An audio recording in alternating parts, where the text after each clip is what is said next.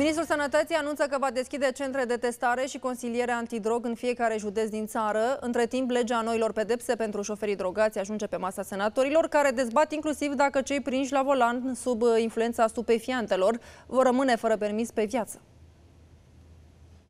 Avem o agenție specializată, Agenția Națională uh, Antidrog. Uh, cred că putem împreună să găsim soluții medicale până la urmă. Uh, Agenția Națională Antidrog are filiale în toată țara. O să găsim o soluție încât să avem, cel puțin în fiecare județ, să avem uh, câte un astfel de centru, uh, nu numai pentru adulți, ci și pentru copii și pentru adolescenți, pentru că ei sunt cei mai vulnerabili.